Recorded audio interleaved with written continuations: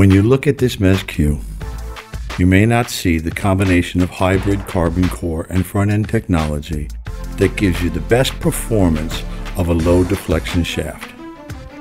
Or notice the United Joint System, which is the most precise joint system in the world. You may only see the combination of ebony, inlaid turquoise, and silver that makes it a beautiful statement on its own.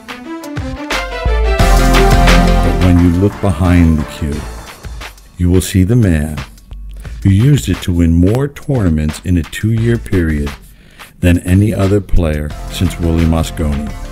So now we come to the eternal question Is it the player or the cue?